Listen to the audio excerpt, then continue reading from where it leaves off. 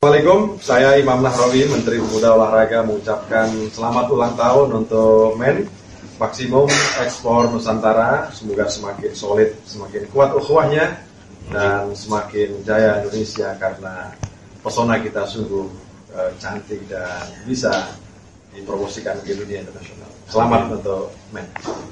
Terima kasih Pak.